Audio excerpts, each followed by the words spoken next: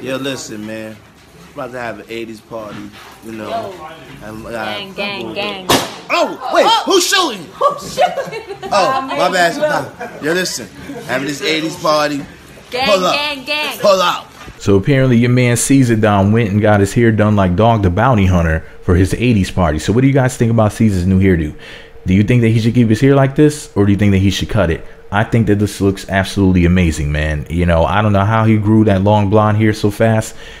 Maybe he's born with it. Maybe it's Maybelline. Maybe it's a wig. No, no, no. I don't, I don't think it's a wig. I don't think that Ceaser will wear a wig on that big bald head. But anyways, so what do you guys think about Ceaser? excuse me, rocking this new long blonde hairdo, looking like a Super Saiyan.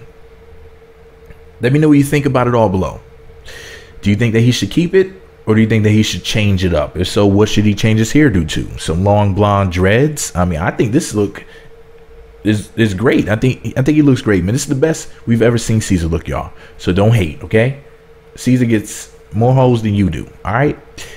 And let me know what y'all think about it all below. Be sure to subscribe to the Meet Magazine YouTube channels. Thumbs up, comment, subscribe, notify Meet Magazine on YouTube, Twitter, and Facebook. Meet Magazine blog on Instagram. Share the video on social media, Twitter, Facebook, Google Plus, two cans with a string in the middle, and telepathically. That way everybody named Mama too knows that your man Ceaser down went and got a new long blonde hairstyle. Never seen him with hair before, so this looks crazy. But hey, if this is how he wants to look, it's cool with me. It's him. I mean, it's it's his damn life. Uh, you know, I'm just saying though. I, I'm just here to give my opinion and my reactions to things that are going on in pop culture and entertainment. All right, y'all. Me magazine. That balloon shit was funny as hell though. I can't even front. What the fuck you do to my hair?